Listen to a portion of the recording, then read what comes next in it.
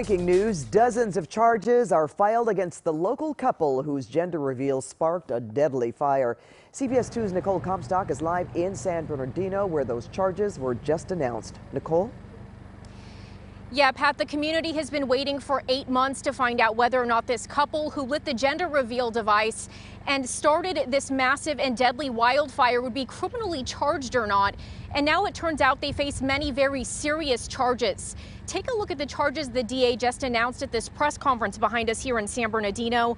Refugio Manuel Jimenez Jr. and Angela Renee Jimenez, a husband and wife, now face eight felony counts, including one for involuntary manslaughter, as well as 22 misdemeanor counts related to reckless behavior that led to a fire.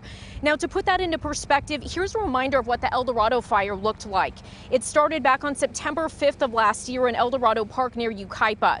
It was sparked accidentally when the couple lit a pyrotechnic device meant to blow out colored smoke to reveal the gender of their baby on the way.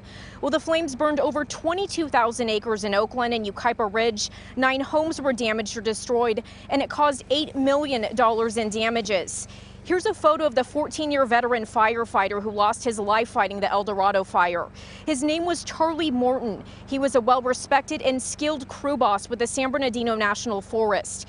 Here's what the district attorney and sheriff had to say about the difficult decisions that came with filing these charges. The conditions that were created that led to the firefighter's death uh, were a direct result of the fire in the first place. I mean, he's fighting a fire that was started because of a smoke bomb. That's the only reason he's there. This is a very complex case, and it also involved very impassioned feelings on both sides of this issue with both families.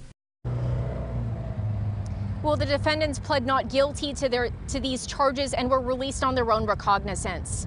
Reporting live in San Bernardino, I'm Nicole Comstock, CBS 2 News. Thank you, Nicole.